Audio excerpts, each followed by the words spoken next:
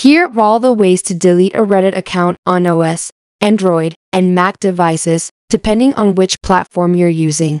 Hello friends, I am Carly. Let's watch the video till the end. Please note that once you delete your Reddit account, you can't reactivate it or log back into your account, but the posts and comments you've made will not be removed. If you're a Reddit Premium member, deleting your account won't cancel your subscription. You can cancel your subscription and then follow the delete account process. The first method to delete a Reddit account is using an iPhone. Launch the Reddit app on your iPhone. Make sure you're logged in. Then, tap the avatar at the top right corner. Then, tap on Settings at the bottom to open the Settings page. Now, swipe up until you see the Delete Account option. The Delete Account option is available in the Support section. Tap on Delete Account.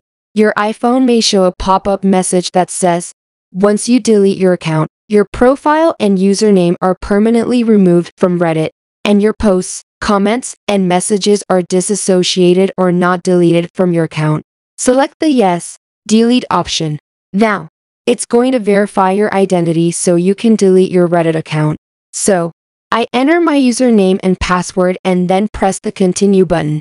After that, it's going to ask you if you can help improve Reddit by answering some questions. Then, it may ask you to save the password to the iCloud keychain. Select Not Now option.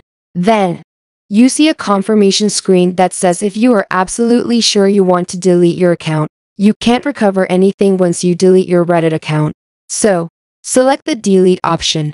That's it. If you try to log in, Reddit will show an incorrect email or password pop up.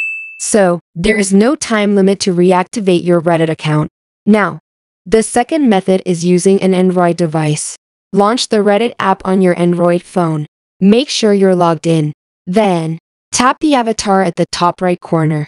Then, tap on Settings at the bottom to open the Settings page. Now, tap on Account Settings at the top. Then, Swipe up and find the Delete Account option. It is available at the bottom of your Android phone. Tap on Delete Account.